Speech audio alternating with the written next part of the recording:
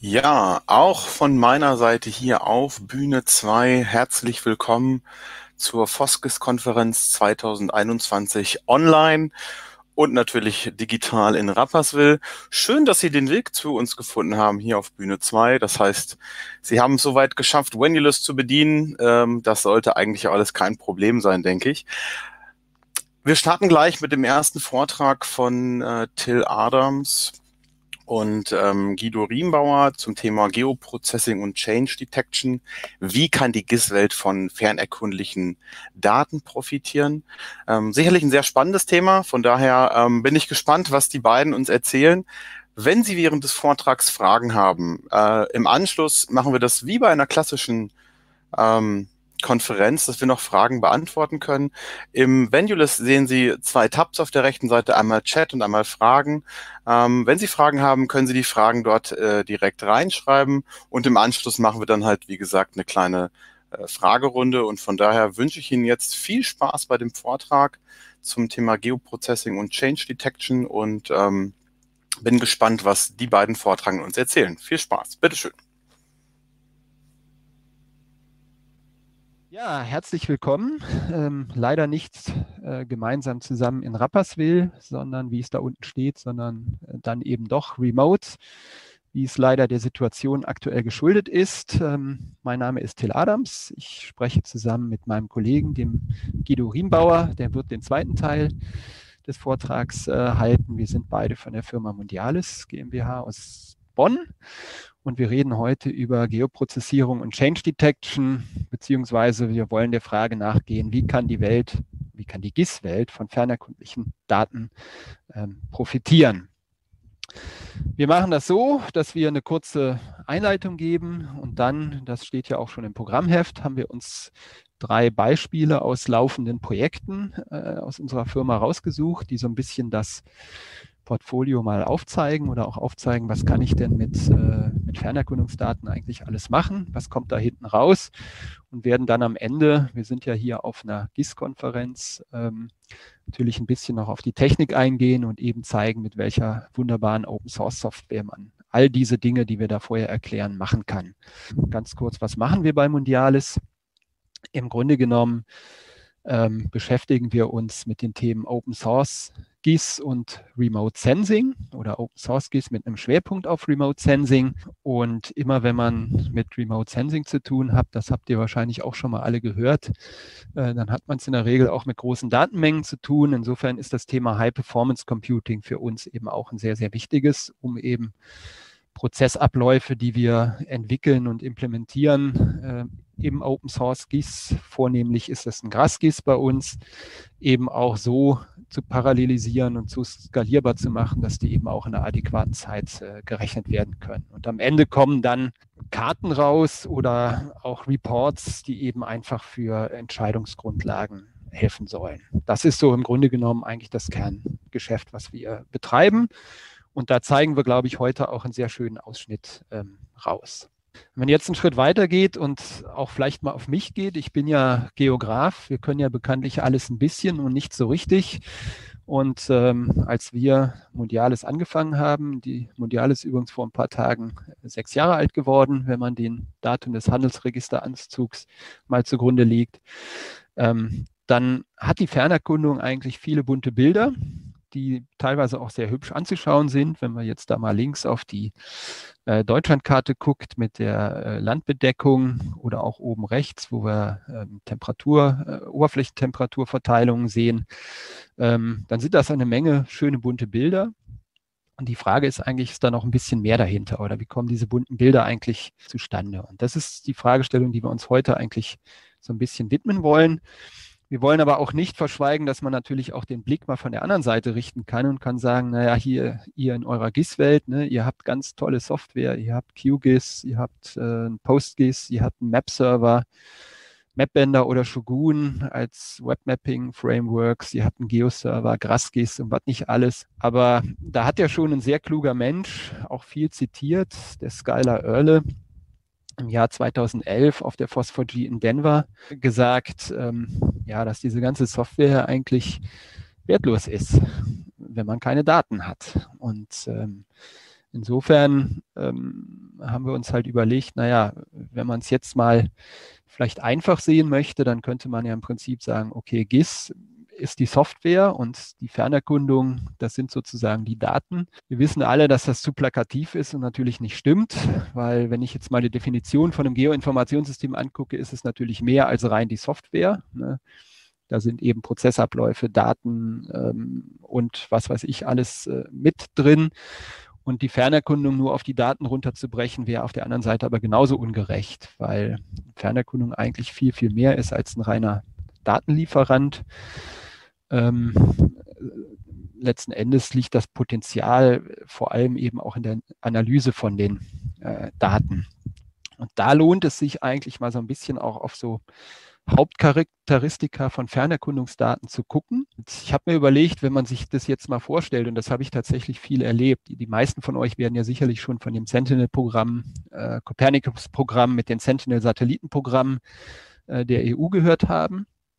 Und es gibt das sogenannte Sentinel-2-Programm, was äh, letzten Endes optische Daten liefert. Also wenn man es ganz doof formulieren will, sagt man, das sind Luftbilder. Die haben natürlich eine Auflösung von um die 10 Meter, eine Bodenauflösung von um die 10 Meter. Da rennt ihr alle weg. Das ist natürlich, wenn man es so betrachtet, eine, eine sehr, sehr schlechte räumliche Auflösung. Wenn ich im Vergleich Luftbilder betrachte, die ich jetzt bei OpenNRW runterladen kann, dann habe ich 10 Zentimeter. Ähm, so. Es, äh, wenn man jetzt aber genauer mal auf diese Daten guckt, ich meine, da fliegt ein Satellit, der fliegt kontinuierlich um die Erde und macht Bilder und äh, liefert alle zwei bis drei Tage ähm, ein komplettes Bild äh, der Erdoberfläche. Dann habe ich vielleicht eine schlechte räumliche Auflösung. Ich habe aber eine sehr hohe und eine sehr kontinuierliche zeitliche Auflösung. Wenn ich jetzt gucken will, wie sich Räume verändern und will das mit Luftbildern machen, mit 10 Zentimeter, dann habe ich natürlich A, riesen Datenmengen und B, meines Wissens nach ist so der durchschnittliche Schnitt einer Neubefliegung mit Luftbildern, der liegt so bei zwei bis drei Jahren. Das heißt, wenn ich lange Zeiträume zurückgucke, dann mag das Sinn ergeben. Wenn ich aber Veränderungen relativ schnell und wir leben in einer dynamischen Zeit betrachten möchte, dann hilft mir das vielleicht, wenn ich tatsächlich eine, eine hohe zeitliche Auflösung habe und betrachte dann vielleicht auch größere Räume. Und da ist es eben, wie gesagt, das ist ein eindeutiges Charakteristika von Fernerkundungsdaten, dass wir vielleicht eher eine mäßige räumliche, aber oft eine hohe zeitliche Auflösung haben. Zweiter Punkt ist, ich bin räumlich nicht an irgendwelche äh, Grenzen gebunden. Ich weiß nicht, ob ihr mal versucht habt, ich habe das vor Jahren mal das Problem gehabt, ein WMS von zwei Bundesländern in eine Kartenapplikation zu kriegen. Die haben aber beide ihr Gebiet ausgestanzt und drumherum einen schwarzen Rand gemacht. Das war eine ziemliche Herausforderung, ist heute sicherlich einfacher geworden.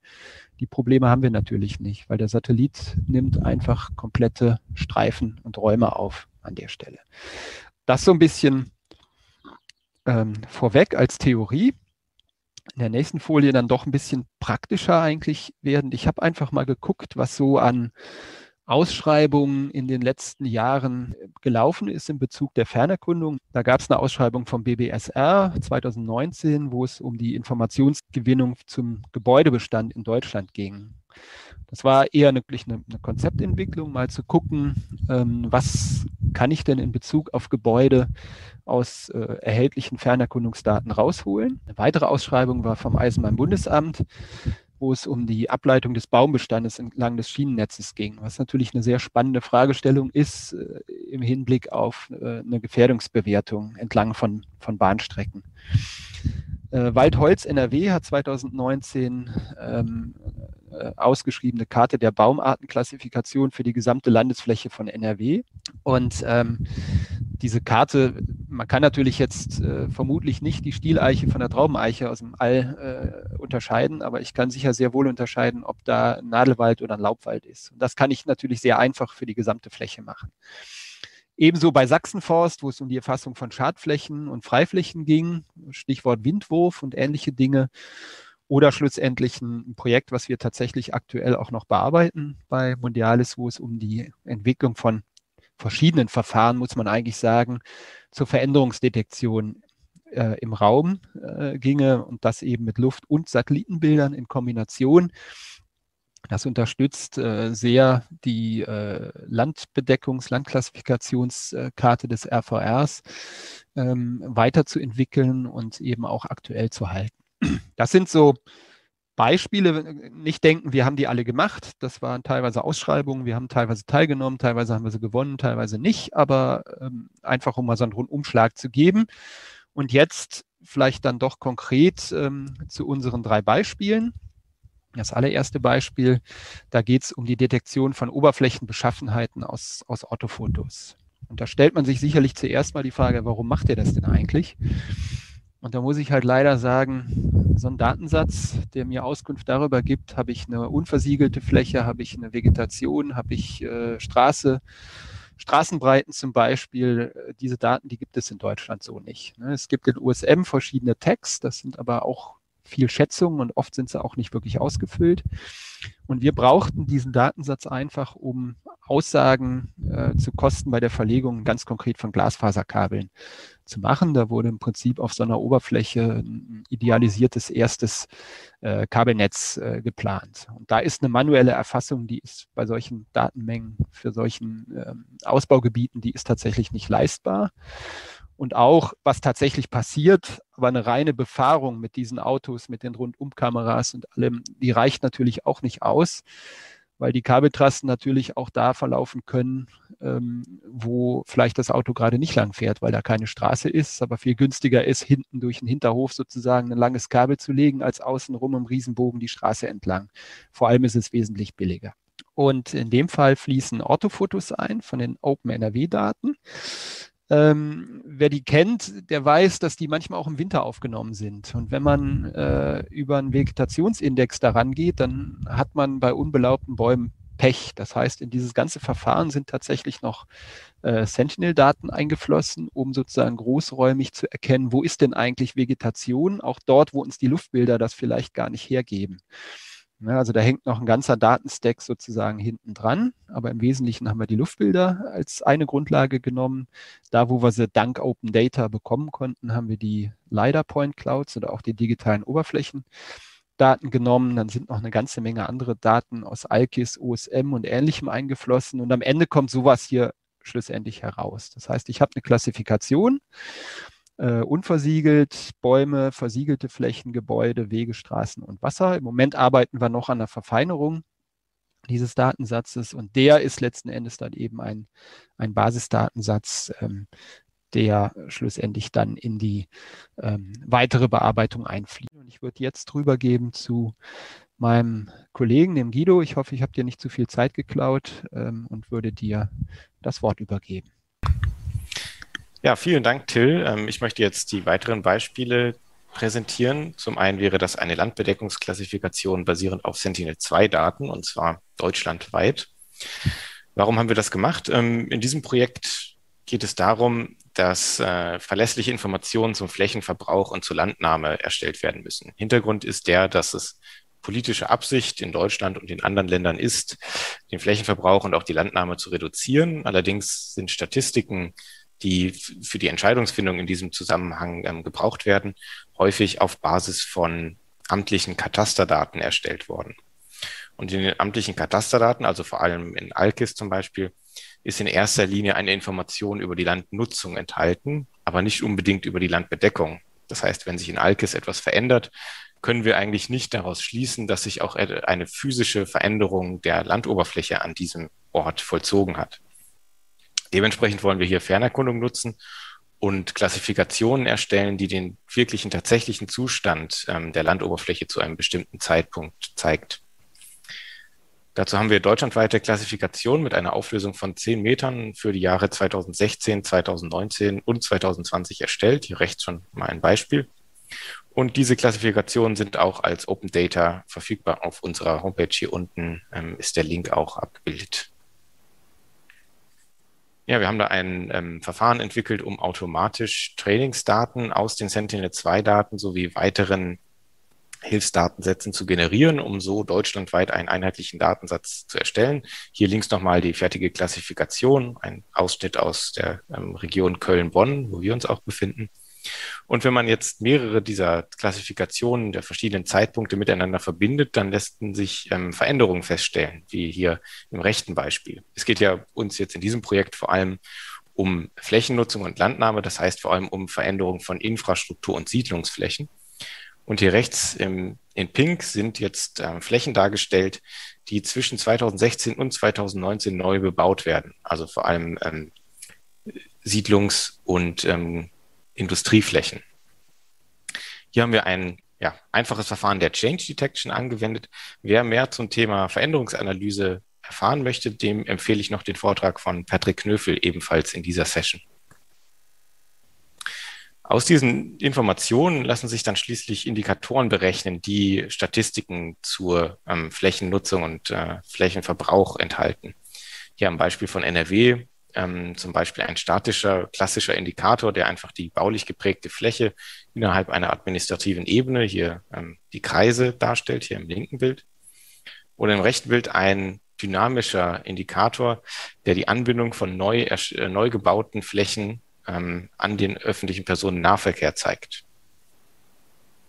Und diese Indikatoren können jetzt eine deutlich bessere Entscheidungsgrundlage zum Thema ähm, Flächenverbrauch und äh, Landnahme bieten, als es ähm, die amtlichen Daten vermögen. Letztes Beispiel ist eine Hochwassergefahrenkartierung mit Hilfe von Sentinel-1-Daten. Ähm, hier ist das Ziel, eine Abschätzung von Schäden und Verlusten durch Hochwasserereignisse ähm, durchzuführen, und zwar unabhängig, ähm, äh, und zwar überall auf der Welt mit der gleichen, mit der gleichen Methodik. Wir nutzen hierzu Sentinel-1-Daten, denn Sentinel-1 hat mehrere Vorteile in Bezug auf, das, auf die Hochwasserdetektion. Zum einen ist es ein Radarsystem, das heißt, die ganze ähm, Aufnahmegeometrie und das ganze Aufnahmeprinzip ist komplett anders als bei optischen Satelliten wie bei Sentinel-2. Denn in diesem Fall werden aktiv Radarwellen zur Erde gesandt und der Anteil der zurückgestreuten Strahlung wird gemessen. Das heißt, es ist ein aktives System und das wiederum bedeutet, dass es wetterunabhängig ist, also auch bei Wolkenbedeckung arbeiten kann. Wir bekommen also viel zuverlässiger auch ähm, Fernerkundungsdaten. Weiterhin lassen sich aus Sentinel-1-Daten besonders gut Wasserflächen erkennen, wie man hier auch am rechten Beispiel sieht. Diese sind dann besonders, haben also eine geringe Rückstreuung und werden daher besonders dunkel hier im Bild dargestellt. Wenn wir jetzt also eine Zeitreihenanalyse machen und alle Sentinel-1-Daten eines Jahres analysieren, können wir so den Verlauf von Hochwasserereignissen im Jahresverlauf ähm, beobachten und daraus Statistiken generieren. In diesem Projekt haben wir mit den Behörden in Ecuador zusammengearbeitet, so dass wir räumliche Statistiken zu Hochwasserereignissen in verschiedenen ähm, Bundesstaaten Ecuadors durchgeführt haben. Wie gesagt, wir kombinieren also alle Sentinel-1-Szenen eines Jahres für ein bestimmtes Gebiet, extrahieren die Hochwasserflächen und berechnen dann ähm, Hochwasserhäufigkeit und mit Hilfe eines digitalen Geländemodells auch die Hochwassertiefe der einzelnen Ereignisse. Hier im rechten Beispiel sieht man ein, äh, ein, ein Ausschnitt um die Stadt Babahoyo in Ecuador, ähm, die die Hochwasserhäufigkeit ähm, zeigt. Und das ist jetzt ein Extrembeispiel, denn hier sieht man, dass sehr viele Flächen sehr häufig überschwemmt waren. Das hat hier allerdings den Hintergrund, dass ähm, dieses Gebiet vom Reisanbau geprägt wird. Das heißt, der Großteil dieser Überschwemmungen war durchaus absichtlich und hat überhaupt keine Schäden oder dergleichen verursacht.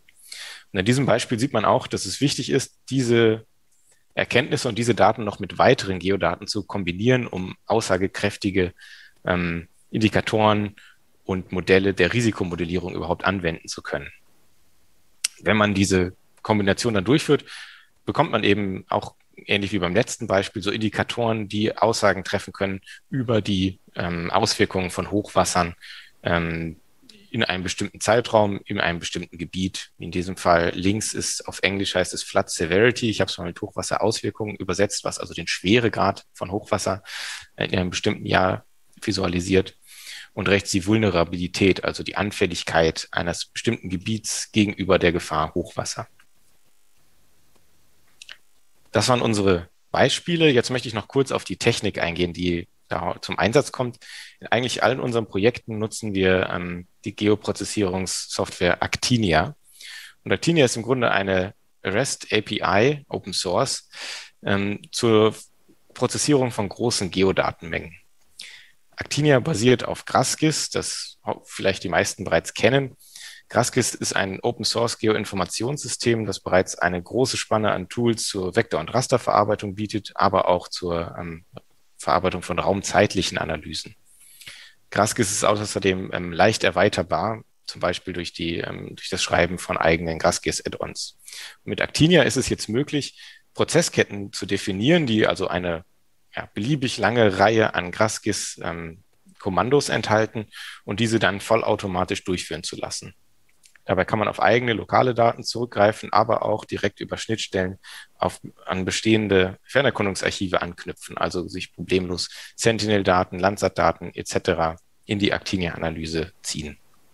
Actinia bietet auch noch ein Job- und Quota-Management zur effektiven Ressourcennutzung und ist seit März 2019 auch anerkanntes OSGeo Community Projekt. Ja, in unseren Projekten nutzen wir ähm, Container-Technologie wie Docker und Kubernetes, um Actinia zu deployen und dieses dann auch mit, mit Hilfe von OpenStack beziehungsweise OpenShift äh, skalierbar zu machen. Actinia kann dabei entweder als Standalone-Software genutzt werden oder ist aber auch integrierbar in bestehende Geodateninfrastrukturen, zum Beispiel durch Schnittstellen zu zum Beispiel Geoserver. Wie gesagt, Actinia ist Open Source und vorgebauten Docker-Images sind auch über den unten rechts abgebildeten Link erhältlich. Damit sind wir auch schon am Ende unseres Vortrags. Ich hoffe, es hat euch gefallen und ähm, ja, wir würden uns sehr über die eine oder andere Frage freuen. Vielen Dank. Ja, danke auf jeden Fall für den sehr spannenden Vortrag, muss ich sagen. Ähm, Till Adams und äh, Guido Riembauer. Ähm, wirklich spannend, was mittlerweile alles mit, äh, mit, mit, äh, mit den Satellitendaten geht. Ich gucke mal direkt bei den Fragen. Ich glaube, ihr habt das so gut erklärt, dass das Publikum zumindest bis jetzt ähm, keine Fragen hat. Ähm, Vielleicht könnt ihr noch einmal kurz ähm, sagen, wo man die Sentinel-2-Daten ähm, bekommen kann. Das ist vielleicht dann auch für die Leute interessant, ähm, die sich mit den Daten auseinandersetzen wollen. Das wäre vielleicht noch eine interessante Information. Ansonsten habt ihr ja erzählt, dass die Software quasi auch bei GitHub liegt etc. Ähm, genau. Und wenn jetzt noch Fragen zwischendurch reinkommen, dürfen die natürlich trotzdem gerne einfach äh, gestellt werden. Dann können wir die noch mit aufnehmen. Von daher wäre ich, wenn es schön, wenn einer von euch noch mal kurz vielleicht ein, zwei Informationen zum Sentinel generell, wo man das herbekommt, erzählen könnte. Guido, da bist du da der Experte. Ja, sehr gerne. Ähm, die Sentinel-2-Daten kann man von verschiedenen Quellen herunterladen. Der offizielle Weg ist im Grunde der Copernicus Open Access Hub. Da muss man sich einfach nur einen Account machen und kann dann eigentlich auf alle Daten, ähm, die es so gibt, zugreifen. Das Problem dort ist ein bisschen, dass es ein Langzeitarchiv gibt. Das heißt, Szenen, die älter als äh, ein Jahr sind, werden in das Langzeitarchiv verschoben. Und das muss man dann erstmal ähm, so ein Re-Upload triggern. Das heißt, man kann eine Szene bestellen, dann wird sie neu hochgeladen. Und das kann dann durchaus ein paar Stunden oder sogar Tage dauern. Deswegen gibt es auch noch Alternativen, wie zum Beispiel ähm, den USGS Earth Explorer, wo man auch klassischerweise schon mal Landsat-Daten herunterladen konnte die, dort kann man auch Sentinel-2-Szenen herunterladen und zwar ohne Langzeitarchiv und ebenso über den Google Cloud Storage ähm, lassen sich alle Sentinel-2-Szenen, die es so gibt, herunterladen. Ähm, wer dafür auch Gras benutzt, hat den Vorteil, ähm, dass es ein Add-on gibt, das heißt iSentinel Download. Damit lassen sich alle ähm, dieser Quellen, die ich eben genannt habe, auch direkt ansteuern und so Szenen suchen, filtern und herunterladen. Das klingt doch auf jeden Fall interessant und gut. Und für alle, die, äh, die nicht wissen, dass es quasi kostenfrei ist. Also man muss für die Sentinel-2-Daten auch kein Geld bezahlen. Also es ist wirklich Open Data nochmal vielleicht. Das als Hintergrund dazu. Ähm, ich gucke nochmal eben in die Tabs. Ähm, tatsächlich äh, tauchen jetzt nämlich Fragen auf. Ähm, nehmen wir mal das mit den meisten Votes. Ähm, bitte mehr Infos über Actina habe ich noch nie gehört. Vielleicht könnt ihr das auch nochmal in einer Minute erklären. Ähm, Actinia, äh, das ist übrigens eine Seeanemone, da, da kommt der Name her. Ähm, vielleicht kann man sich am einfachsten so vorstellen. Actinia ist im Grunde genommen die API, die man oben auf, oder eine Web-API, die man oben auf GrassGIS, aber eben auch auf andere äh, GIS-Libraries ähm, draufsetzen kann. Die dann in einem standardisierten Format Anfragen äh, entgegennimmt ähm, und im Grunde genommen dann im Hintergrund an zum Beispiel Graskis äh, weiterleitet. Und der Clou ist eigentlich, dass Actinia ähm, nicht nur die Anfrage entgegennimmt und weiterleitet, sondern eben in der Lage ist, das äh, auf einer cloud-basierten Architektur Anfragen eben auch entsprechend zu verteilen. Ähm, wenn wir hier über Sentinel-Satellitendaten reden, dann reden wir über sehr, sehr große Datenmengen. Und das ist eigentlich die, äh, die Idee dahinter, äh, weshalb das Ganze entstanden ist. Mittlerweile ist es ein bisschen erweitert worden. Der Guido hat es ja in seinem Vortragsteil auch, auch gesagt. Es gibt verschiedene Module, womit ich zum Beispiel direkt auf äh, Sentinel oder auch Landsat-Archive zugreifen kann ähm, sprich ich mich gar nicht mehr selber direkt drum kümmern muss, äh, wie ich auf diese Daten äh, oder wo ich die eigentlich herbekomme ähm, an der Stelle. Ähm, Actinia ist äh, seit zwei Jahren auch ein OSGeo Community Projekt, also auch auf der OSGeo Webseite gibt es ein paar Infos, da ist es auch verlinkt, äh, auch das GitHub Repo. Und wer da vielleicht was genauer wissen will, der kann uns aber auch gerne im Nachgang entweder mich oder den Guido einfach auch nochmal anschreiben. Ähm, da können wir sicherlich dann nochmal etwas dezidierter drauf zugehen. Letzter Tipp dazu noch, es gibt äh, einen sehr, sehr guten Vortrag, den hat die CAM-Entwicklerin äh, bei uns ähm, auf der Phosphorgie in Bukarest gehalten. Also wenn man da in den Archiven guckt, da ist wirklich ein Vortrag nochmal ganz dezidiert nur Actinia auch wirklich sehr, sehr gut erklärt. Das hilft gut. vielleicht auch weiter. Genau, eine letzte Frage schaffen wir vielleicht auch noch. Waren die Geländemodelle zur Tiefenberechnung der Überflutung Open Data und welche Auflösung hatten diese?